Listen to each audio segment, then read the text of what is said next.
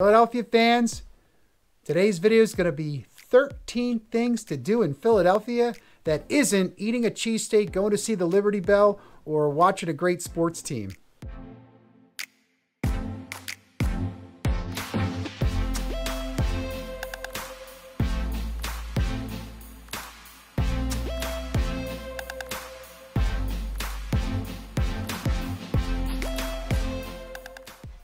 Hey everybody, I'm Gregory Martire, your local real estate expert.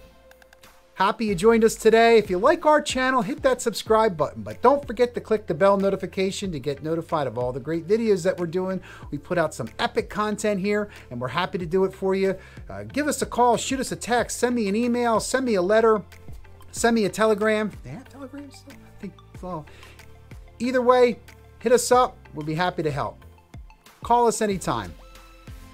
So today's video is going to be 13 things to do in Philadelphia that aren't going to have a cheesesteak, going to see the Rocky Museum, looking at Independence Hall. And look, those things are really great. Don't get me wrong; they're really awesome, and you got to do it. And you got to do it when and if you if you move here and when you live here. You got to take the kids and you got to take the family, and you're going to have fun. And there's so many unique things like that those things have to offer. Uh, Tastykakes, did we mention that? I think we mentioned that in another video.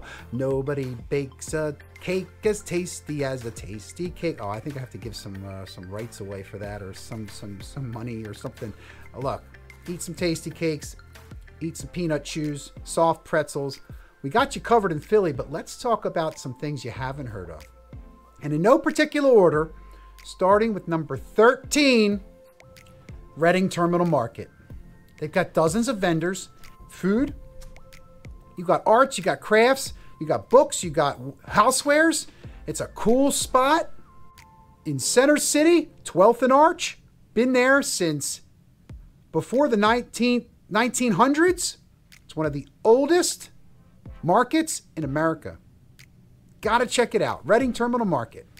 All right, so in at number 12, Boathouse Row. So Boathouse Row is in between Kelly Drive and the Schuylkill River. Okay? And at night, the houses are lit up. This is part of Fairmount Park. The Schuylkill Navy is housed there. There are more than 15 houses that you drive by where, as you would imagine, the boathouse, the row clubs, the row teams are housed there. Such a cool spot. It's just a, such a neat thing to see in the city along the Schuylkill River. Take a little walk down by the park. You see Boathouse Row. You got to check it out. All right, so number 11 is Philadelphia's Magic Gardens. Now, we touched on this in the South Philly video. Check out our other video there. Is it here? Is it there? Where is it? In South Philadelphia. But on South Street, there is a literal labyrinth of art. So you you got to check it out, and it's it's hard for me even to explain until you see it. But you check out the video, and we'll put some shots up of it here. But it's parts of the city turned into art, and also parts of the world turned into art. Bicycle tires, uh, pieces of glass. So a local Philadelphia resident created this area in an empty lot near his house, and now it's it's part of our history here on on South Street. Philadelphia's Magic Garden, it is magical. All right, in at number 10, Edgar Allan Poe Museum. That's right. He may have only lived here a year, but when he died, he left his house to the city, and now it's a historical site in the city. Here, in our fair city, he wrote The Telltale Heart, no, that one, and The Golden Bug. That reminds me of a quote from the Telltale Heart, and I'm probably paraphrasing, but I smiled, therefore, what have I to fear? Look, you see me smiling. We're not full of fear here, something like that, but Edgar Allan Poe, gotta check it out. All right, number nine, coming down the list. Number nine, again in no particular order. Number nine, number nine, number nine, Shofuso Japanese Garden House. That's right. We've got one of the coolest Japanese garden houses, villas in the entire country, right here in Philadelphia. It's right in part of Fairmount Park. It's like the Japanese pagoda. You gotta see the buildings. You gotta see the the, the gardens. It's absolutely phenomenal. That reminds me of Longwood Gardens. Now, that's not in the city, but it, it's very neat and eclectic and unique like Longwood Gardens. Oh, by the way, check out our Longwood Garden video. Japanese Gardens, Philadelphia, Fairmount Park. Number eight is free. That's right. Even I can afford it. It's free. The Wagner Free Museum. It's Victorian scientific artifacts, but it's free and it's really, really cool. So, lucky number seven Philadelphia's Moon Tree. Yep. It's a moon tree. Now, it's not where the sports fans go up and moon you, although we've been known to do that. Uh, no, honestly, there were seeds taken to the moon, then brought back here to Philadelphia and planted mm-hmm. in Washington Square Park. We have a moon tree. You saw it here. We'll put the link below. All right, number six, Fodder Museum. Just kidding, it's Mutter Museum. It's the Mother Museum. Mutter, it's German. Medical oddities. Just a cool spot. Like, who's ever heard of this, right? You heard of the Liberty Bell, but the Mutter Museum is awesome. Now, in the Mutter Museum, they have a portion of Einstein's brain. It's a true fact. I wouldn't make this up. It looks like kelp. So, next time you're having your kelp salad, it's going to make you smarter. Number five love letter murals. There are 50 rooftops in Philadelphia that have these love letters that were painted by artists.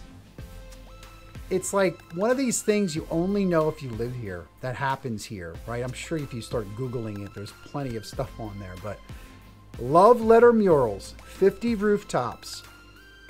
You thinking of making a love letter to your sweetie? Check them out. So you can see these rooftops from the uh, the, the, platform in um, Market Frankford Line there, West Philadelphia. Folks, coming in at number four, the Mummers Museum. So, what is a mummer? I mean, if you haven't heard of the Mummers Parade, so the Mummers is a bunch of Philadelphians getting dressed up and and acting like they're having a great time, which they are. They put on a parade. The mummers have been around for such a long time. Uh, uh imagine it, it, it's like Philadelphia is the mummers. Imagine a roving group of drunken, disguised, masked people dressed up. Okay, they're not all drunken, but they are all disguised, masked, masked, and dressed up. The Mummers Parade, just a celebration of being Philadelphia.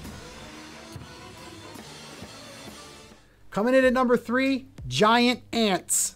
That's right, giant ants. Phoenixville, which is Chester County, has the blob. Philadelphia, which is Philadelphia County, has giant ants.